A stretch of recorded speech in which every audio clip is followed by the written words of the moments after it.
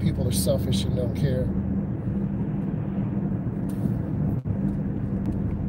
Notice I'm increasing my following distance. I think a lot of people become careless, aggressive drivers. They think, hey, I can cut off cars, I can go over speed, I can blow lights.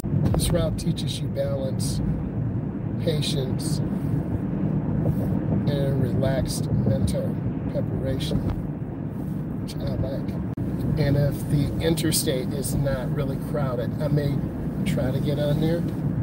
You need to know more than one route to your destination. I would teach my clients that. And I'm to squeeze them up brake real easy. Okay, that's why they keep tapping the brake lights and tapping the brake lights. If you notice how I'm driving, I'm just very constant. You're going to see them rapidly accelerate for nothing. They're going really fast in a small spot. My speed is the same. So we're discussing driving in traffic, how to be a safe driver. We saw some trucks cut us off, people running lights, not using blinkers. All of these cars are tapping brake lights because they're tailgating and they're in a wolf pack. Not a wolf, W-O-L-F, a wolf pack, which is a group of cars. I can see the ramp to the interstate.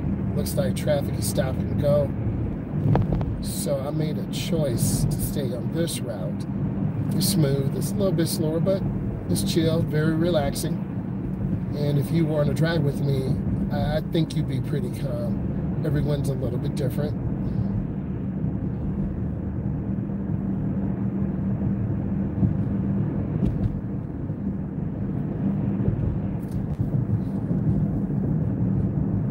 The black truck we passed just cut off a curb.